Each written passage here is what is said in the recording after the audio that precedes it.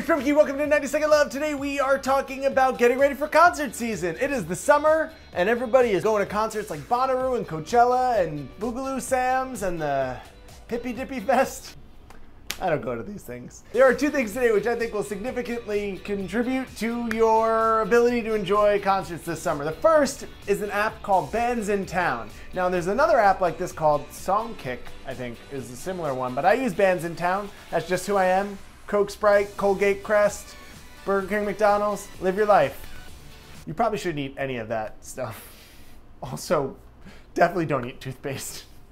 I ate it for like four years.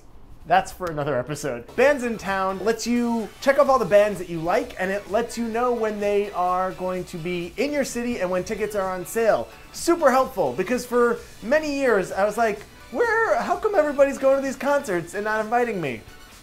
That's an issue for another episode as well, too. The next thing is an article from the New York Times called Raving Sober, and it talks about how the culture of kind of uh, drugs and alcohol can be a little bit overwhelming at these festivals. And so they are, uh, there are a bunch of people who come together to create kind of a volunteer center at these festivals for people who want to enjoy it sober, which should be easy to do because it's music and you're outside and you're alive and we're a planet and we revolve around the sun. There's so many things to be excited about. Links are below, subscribe, and I will see you on Monday. Well, poof! But there are two things which I think will uh, heavily combine to form a Transformer. What?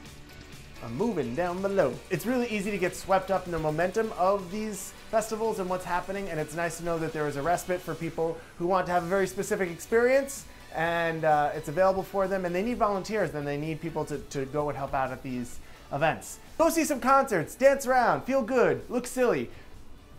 That should be the mantra of this show.